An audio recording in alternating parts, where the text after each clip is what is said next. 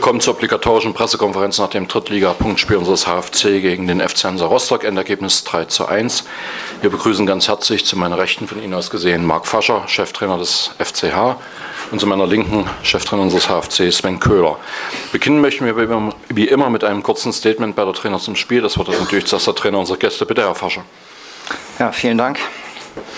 Erstmal vorweg herzlichen Glückwunsch an meinen Kollegen zum Sieg. In der ersten Halbzeit haben wir fünf Minuten stattgefunden. Das waren die ersten fünf Minuten. Ich weiß nicht, wann das 1-0 genau gefallen ist, in welcher Minute. Bitte? Zehnte. Zehnte Minute. Äh, ja, da sahen wir hinten im Abwehrverbund überhaupt nicht gut aus. Da haben wir geschlafen im wahrsten Sinne des Wortes. Und beim zweiten Tor sahen wir auch nicht viel besser aus. Da haben wir eine klare Zuteilung, die wohl nicht wirklich eingehalten werden konnte. Die Bilder muss ich mir letztendlich nochmal genau angucken. Ich weiß nicht, wann das gefallen ist. Ich glaube, 15. Minute. Ja, dann stehst du da mit deinem Talent, kommst dann aber nochmal wieder. Da zeigt die Mannschaft eine Reaktion. Und als wenn das noch nicht genug gewesen ist, kriegst du noch das 3-1 obendrauf, wieder nach einer Standardsituation. Auch da quasi geschlafen. Und ja, damit der Albtraum wirklich komplett wird in der ersten Halbzeit, noch die rote Karte obendrauf. Ob es eine war, kann ich schwer beurteilen, wobei viele Leute äh, meinten, es wäre wohl zu hart gewesen. Aber wenn du zur Halbzeit 3-1 hinten liest und einer äh, weniger bist, dann ist es, muss schon ein Wunder kommen, wenn du das Spiel noch drehen willst. Wenn ich wirklich was Positives hervorheben will, dann ist es die zweite Halbzeit, dass die Mannschaft äh, sich dann nicht hat abschlachten lassen. Wahrscheinlich auch dadurch begünstigt, dass Halle Eingang, vielleicht sogar auch zwei Gänge zurückgeschaltet hat. Weiß ich nicht, das kann mein Kollege gleich beantworten. Ja, von daher verdient der Sieg für Halle und ich wiederhole mich. Glückwunsch an Halle. Danke. Dankeschön, Herr Fascher. Sven Köhler, zum Spielverlauf aus deiner Sicht? Ja, danke erstmal und ich denke, dass es zu Beginn ein intensives Spiel war und äh, auch die Rostocker nach, nach vorn immer, zumindest für mich, gefährlich wirkten. Äh, sicher ist es so, wenn man dann relativ zeitig das 1-0 macht, dann ist 2-0 hinterher, dass man äh, vom Gefühl her glaubt, ja, das, das, das Spiel läuft in deine Richtung. Aber mit dem 2-1 äh, war es wieder ein offenes Spiel und, und äh, dort hätte durchaus auch das Spiel wieder in die andere Richtung kippen können, weil die Rostocker immer bemüht waren, dort nach vorn zu spielen.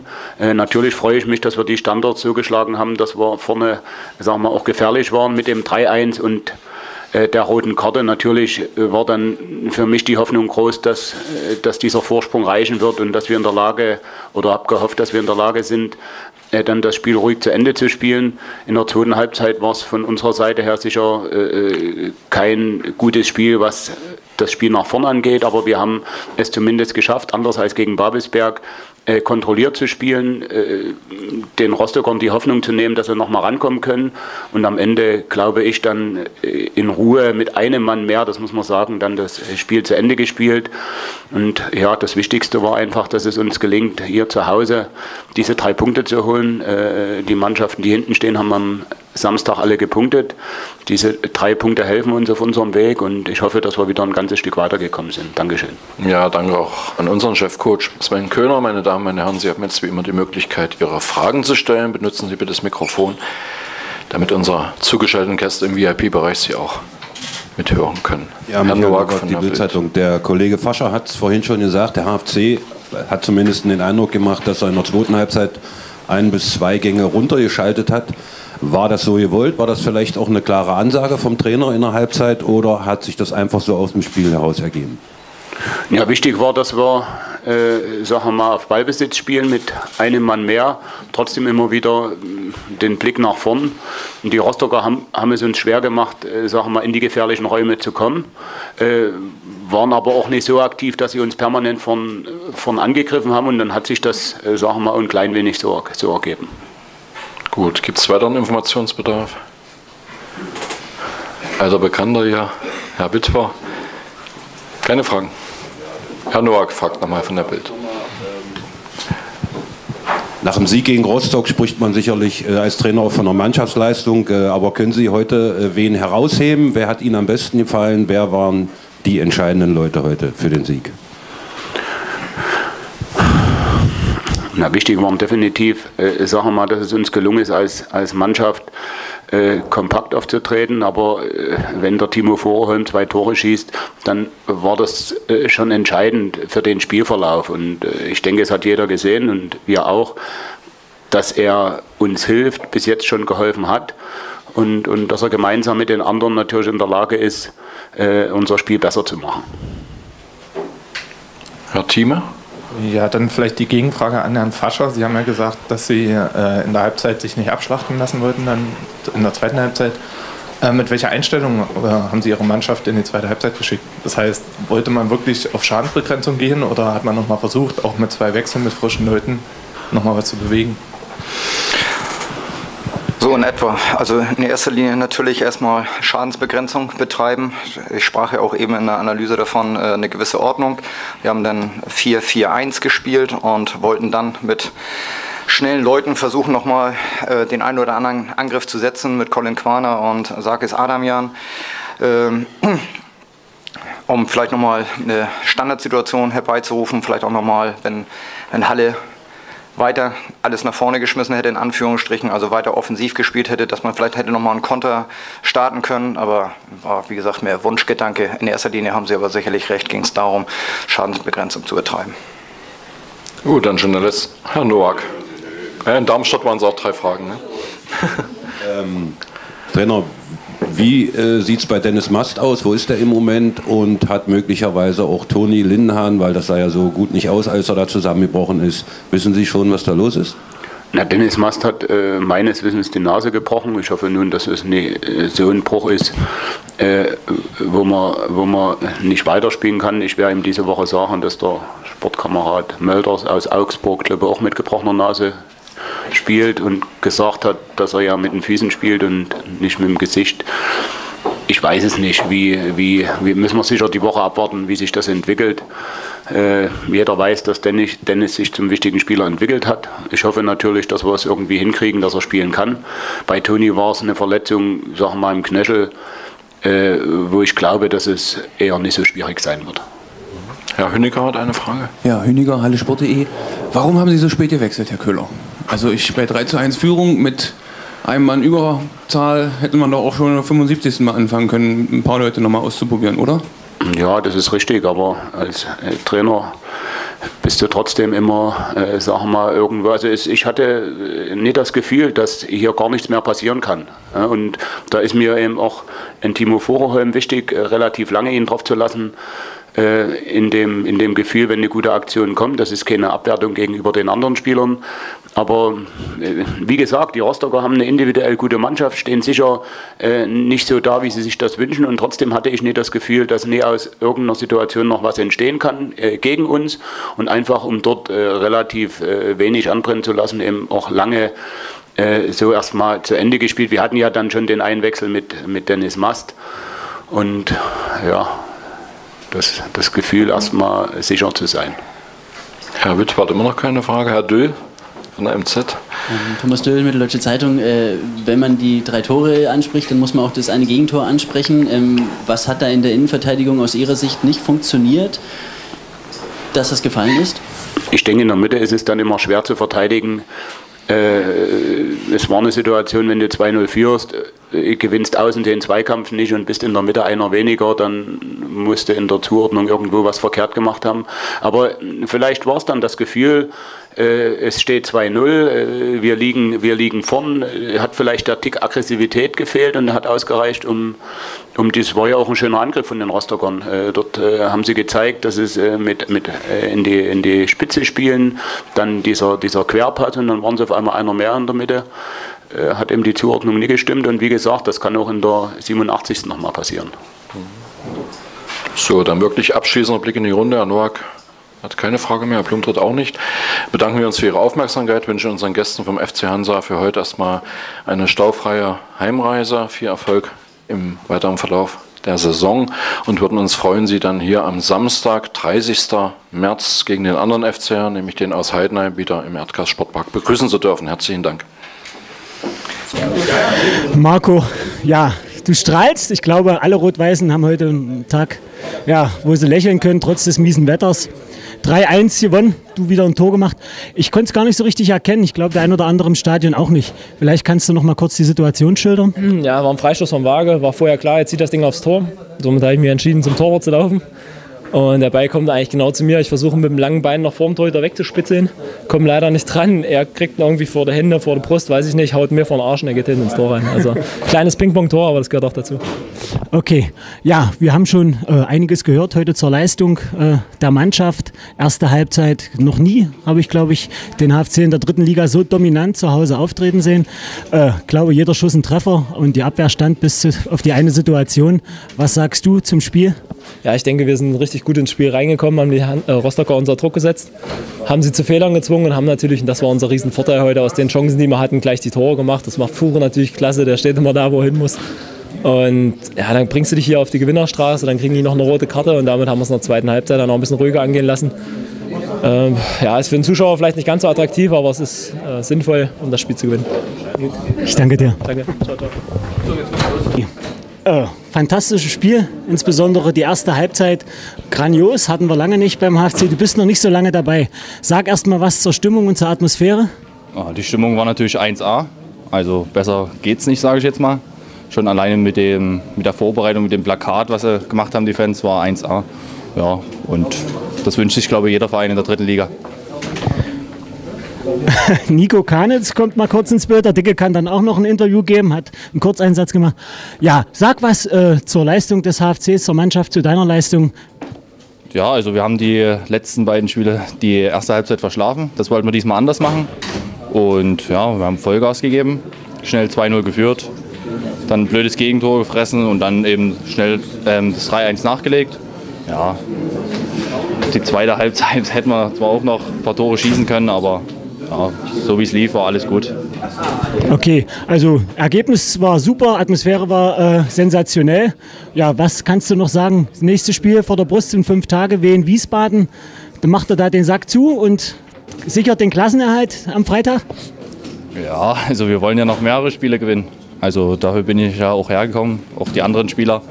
Und ich denke nicht, dass uns dann 40 Punkte schon reichen. Also persönlich für den Klassenerhalt vielleicht schon, aber wir wollen mehr Punkte haben. Das heißt, du bist nächstes Jahr auch beim HFC? Vertraglich bei Dynamo Dresden und dann setzt man sich im Sommer zusammen und dann wird man sehen. Okay, dann weiterhin viel Erfolg. Ja. Vielen Dank. Daniel Ziebig. Der HFC gewinnt 3-1. Sensationelle erste Halbzeit, sehr präsent und ja, ich glaube, der HFC war zum Heimspiel noch nie so dominant wie, wie gegen Hansa, insbesondere in der ersten Hälfte. Was sagst du?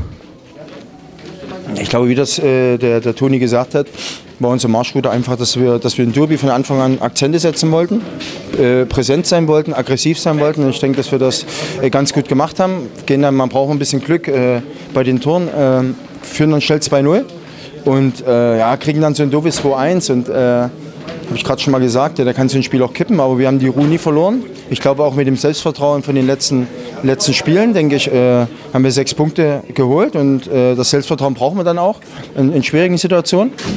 Und äh, ja, dann machen wir das 3-1 und äh, dann mit der roten Karte äh, äh, weiß ich nicht, ob es eine rote Karte war. Auf jeden Fall bin ich eher am Ball. Er, er kommt rein, reingekrätscht und ich sehe es nicht. Ich merke nur einen Schmerzen an meinem Knöchel. Und rote Karte, das hat uns natürlich dann äh, äh, auch einen, Vorteil gegeben. Aber wenn man das Spiel dann äh, gegen Babelsberg sieht, waren wir auch zu zehnt und äh, haben das nicht so gut gemacht. Aber heute haben wir, denke ich, mit Waage gesehen im, im, Zentrum, der dann die Ruhe hat, der die Bälle verteilen kann. Müssen wir dann eigentlich noch das vierte machen, aber ich glaube, dass wir so weit noch nicht sind, äh, äh um dann so ein Ding so 3 drei, oder 4, 4, 1 dann auszuspielen. Das müsste der nächste Schritt sein, damit äh, der Verein oder die Spieler, die merken, dass, dass es ein Aufwärtstrend ist, dass wir eine gute Truppe haben dass uns die, weil gerade die Frage kam wegen den 40 Punkten, äh, ich bin hierher gekommen, um so viele Punkte wie möglich äh, mitzuholen, damit man äh, nicht mit 40 ausgeruht ist, sondern vielleicht holt man 50 oder dass man im Endeffekt alles rausholt und äh, das hat sich die Mannschaft dann auch verdient. Und ich denke, dass wir Qualität haben, wissen wir. Ich denke, äh, ich bin hier auch hergekommen, um jedes Spiel zu gewinnen. Es war äh, paradox zu sagen, äh, man verliert kein Spiel, aber wenn man das Spiel gegen Preußen Münster sieht, äh, hätte man das Spiel auch nicht verlieren dürfen. Und äh, da sieht man, dass wir Qualität haben. aber wir müssen es jede Woche zeigen und das haben wir heute wieder gemacht und wir genießen das jetzt äh, die nächsten zwei Tage und dann äh, geht es wieder los gegen, gegen Wien Wiesbaden. Äh, es wird wieder so eine ähnliche schwere Aufgabe. Mike Wagefeld hat jüngst äh, seinen Vertrag verlängert und er hatte da auch in der Mitteldeutschen Zeitung so einen kleinen Nebenkommentar abgelassen. Er hatte dich ja, glaube ich, geholt, munkelt man, hat dich überzeugt, dass du nach Halle kommst und dort stand zu lesen, du bleibst in Halle. Was kann man da den Fans berichten? Ja, das ist ein Wunschdenken von Waage. ich meine, ich habe Vertrag in Cottbus und ähm, das Ausleihgeschäft geht ja nur das halbe Jahr und dann, äh, wie gesagt, im Sommer äh, wird man sich zusammensetzen, ähnlich wie es beim Toni ist und es ist alles möglich. Ein Fußballer will so, hoch, so, so hochklassig spielen, wie, wie, er kann.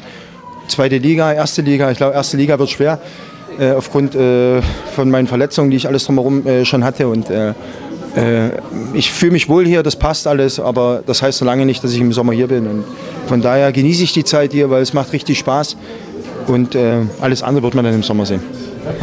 Ich glaube, du bist ein ganz wichtiger Baustein in der Mannschaft. Äh, ja, das sieht man ja auch. Und Ziel zweite Liga mit den HFC ist jetzt vielleicht noch eine Wunschvorstellung, aber vielleicht mit dir zusammen. Nächstes Jahr Angriff ich habe es gerade schon mal gesagt, äh, ich habe Vertrag in Cottbus und äh, äh, ich glaube, dass die äh, Verantwortlichen in Cottbus auch wissen, was ich kann. Und es ging, wie gesagt, ich habe es gerade schon mal gesagt, es ging einfach um ein Ausleihgeschäft für den Kopf, für mich, dass ich wieder Spaß am Fußball habe. Und äh, wenn, wenn, der, wenn der Mike Wagefeld und der, äh, der Trainer Köhler nicht gewesen wäre, wäre ich nicht in, in Halle gelandet. Und ich denke, dass man das halbe Jahr ja, wie gesagt, das genieße ich. Ich freue mich, Fußball zu spielen. Ich freue mich, dass ich wieder zu alter Stärke zurückgefunden habe. Aber wie gesagt, der Blick geht immer nach oben. Ich bin ehrgeizig genug und äh, alles andere wird man dann in, in Zukunft sehen. Ich konzentriere mich jetzt auf die Spiele bis zum Schluss und dann wird man sehen. Wir freuen uns, dass du da bist und wünschen dir noch viel Spaß die letzten neun Spiele. Danke. Ja, Annika spielt selber. Wo ist eine hübsche Frau? Ja, ich muss mit mir Vorlieb nehmen. Und zu einem Tag kann ich trotzdem lächeln. Michael Schädlich. Fantastisches Spiel. Das Wetter war nicht so toll, aber 3-1 für den HFC. Erste Halbzeit sensationell. Sag was. Ja, ich denke, die erste Halbzeit äh, kann man mit äh, effektiv bezeichnen, als vier Chancen, drei Tore zu machen. Rostock ist kein, keine Laufkundschaft, hat sicherlich äh, spielerisch mitgehalten, war teilweise auch gerade, was das Tor auch zeigt, sehr angriffsstark. Ähm, ich denke, die zweite Halbzeit haben wir das jetzt äh, mit einer äh, Art von Cleverness heruntergespielt. Äh, ich denke, je mehr wir an Sicherheit gewinnen, auch mit dieser Mannschaft, die da auf fünf Positionen ja seit Januar verstärkt ist, je besser kommt das Team ins Rollen. Wir wollen so schnell wie möglich diese, ich denke, 43 Punkte werden notwendig sein, erreichen, um Planungssicherheit zu bekommen für die äh, Vorbereitung der nächsten Saison. Und man muss auch eins sagen, dass natürlich alle um dieses Spiel herum, jedenfalls bis dato, was die Frage der Sicherheit betrifft, was die Frage äh, auch der äh, Vermarktung, der Kommunikation betrifft, alle einen guten Job gemacht haben. Und ich sage es auch gerne, auch gerade äh, dir gegenüber, was in dieser Fankurve geleistet wird, äh, ist top. Man lässt sich nicht provozieren. Man hat eine Choreografie, denke ich, der Öffentlichkeit gezeigt, die mit unheimlich viel Aufwand, Sympathie und natürlich mit dem äh, äh Schuss sozusagen Schmäh auch ausgestattet war. Äh, ich bin also in der Weise nicht nur über das Ergebnis äh, des sportlichen Vergleichs zufrieden, sondern eben auch über das Ergebnis, das bis dato sicherheitstechnisch von allen Seiten sehr löblich erwähnt wird. Michael, ich glaube, viele Fans haben natürlich ein Spieler ganz besonders im Auge. Ich weiß nicht, ob er heute Spieler des Tages war. Auf alle Fälle hat er zwei Tore geschossen. Alle hoffen und bangen natürlich, dass die Zukunft für Timo Furuholm beim HFC weitergeht. Kannst du schon was sagen? Kannst du ein kleines Fünkchen Hoffnung machen für die HFC-Fans? Was wird mit Timo nach der Saison? Ja, das kann man in, in, der momentanen Situation nicht einschätzen. Aber man muss realistischerweise sagen, und ich äh, neige nicht unbedingt zu äh, Euphorie, äh, dass äh, Timo Furuholm uns unheimlich hilft sehr clever und effektiv arbeitet. Er aber natürlich auch äh, im Fokus vieler anderer höherklassiger Vereine steht. Und äh, es wird sich zeigen, ob wir wirtschaftlich wirklich diesen Herausforderungen standhalten können. Äh, ich würde momentan eher sagen, äh, dass es äh, schwierig ist. Aber unabhängig davon ist es ein unheimlich professioneller und sympathischer Typ, weil er hängt sich voll rein und nutzt natürlich auch seine Chance, hier in Halle überregional auf sich aufmerksam zu machen. Ich denke, ich verrate ein kleines Geheimnis. Äh, dass er wohl Ende März äh, bei der finnischen Nationalmannschaft im Team sein wird für das WM-Qualifikationsspiel gegen den Weltmeister Spanien. Äh, und wer hätte schon vor zwei oder drei Jahren hier vorausgesagt, dass wir einen Mittelstürmer beim HFC haben, der gegen den Weltmeister ein Länderspiel macht. Das ist die Qualität von Timo Furuholm. Die zu bezahlen, ob ein Drittligist reicht, ich wage es immer noch stark zu bezweifeln, so leid es mir tut. Aber wir kämpfen. Trotzdem nochmal Glückwunsch auch von den Fans von allen Seiten. Danke. Ihr habt im Winter einen super Job gemacht. Ich glaube, alle fünf Neuverpflichtungen sind eine Hammerverstärkung. Und ja, ich glaube, jetzt brauchen wir auch keine Angst haben für die Zukunft des HFCs. Sagt den Fans äh, danke. Einfach danke. danke.